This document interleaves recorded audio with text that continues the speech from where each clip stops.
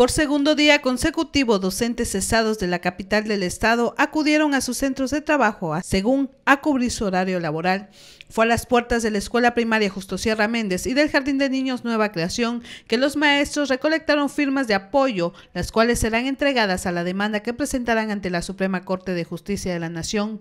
Y aunque recibieron el apoyo de algunos padres, no se libraron de cuestionamientos sobre su negativa para evaluarse y la falta de apoyo de los simpatizantes de la coordinadora que a diferencia de las manifestaciones hoy los dejan solos.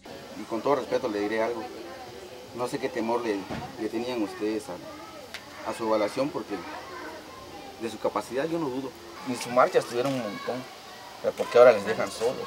Y ante la insistencia de los docentes fue necesaria la presencia de elementos de la Policía Estatal Preventiva para garantizar que no se atentara contra la tranquilidad de los menores. Con imágenes de Jorge Martínez, edición de Vuelve Villagrana, Telemar Noticias, Nancy Hernández.